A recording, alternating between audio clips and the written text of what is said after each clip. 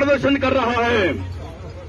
आज लाखों लाख कार्यकर्ता, जिस प्रकार दिल्ली के आज चीनी दूतावास पर दिल्ली के कार्यकर्ता प्रदर्शन करने निकले हैं, इसी प्रकार भारत में लाखों लाख कार्यकर्ता जो सड़कों पर हैं। हमारी यही मांग है, जिस प्रकार 20 अक्टूबर उन्नीस सौ बासठ को इस भूमाफिया चीन ने भारत की भूमि पर धोखे से मध्यरात्रि में आक्रमण करके हमारे हज़ारों हज़ार सैनिक बलिदान हुए माँ भारती की रक्षा के लिए। आज अपने उन वीर सैनिकों की शहादत को भारतीय जनमानस भूला नहीं है। जिस प्रकार चीन ने भारत की लगभग एक लाख वर्ग किलोमीटर भूमि पर कब्जा किया हुआ है। उसे जल्द से जल्द मुक्त करना होगा। साथ ही चीन की 16 देशों के साथ जो सीमाएँ लगती हैं, आज सभी देशों को चाइना ने डिस्टर्ब करके रखा है। आज सभी 16 के 16 देश इस भूमाफिया धूर्त चीन से परेशान है। और सभी की भूमि पर चीन ने कब्जा किया हुआ है।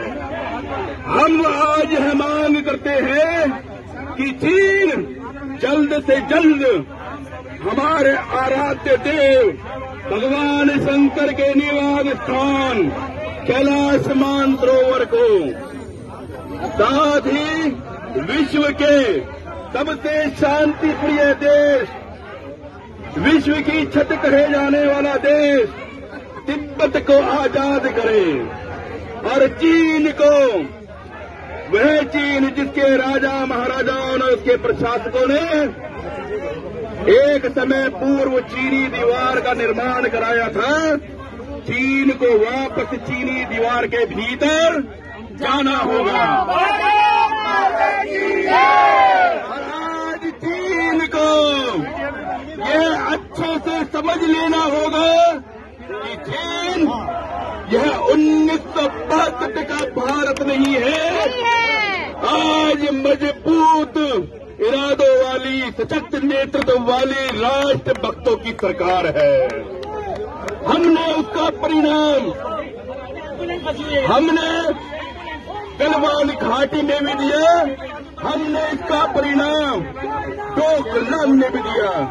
डोकलाम में इतिहास में पहली बार चीन के सैनिकों को अपने कदम वापस लेने पड़े और गलवान घाटी में उसके मारे हुए सैनिकों की संख्या चीन आज तक बता नहीं पाया।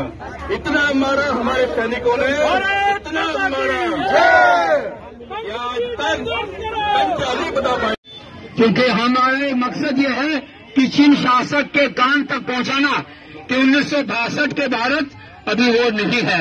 उन्नीस सौ बासठ, भले हमने धोखा नहीं खाया, हमने जिताया, क्योंकि जिस जगह से मेरा जन्म हुआ है, उसी जगह पे चीन शासकों ने बासठ में आक्रमण किया है। इसीलिए मैं अपनी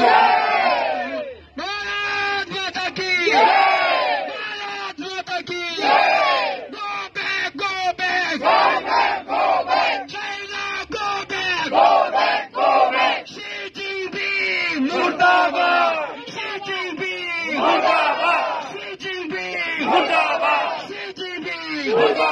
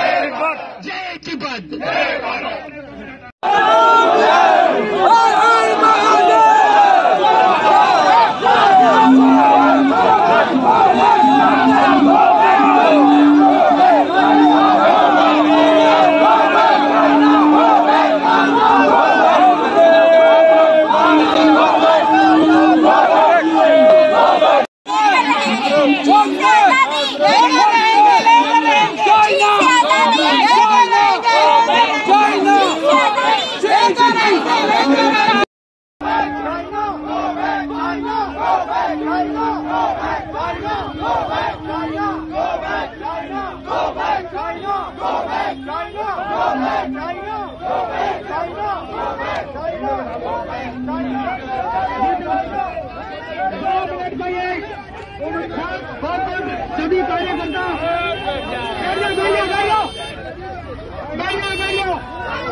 भाषण याद करो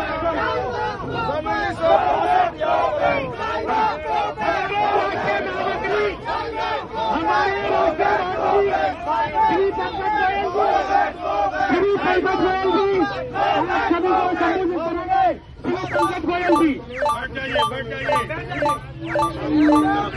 भारत माता की भारत माता की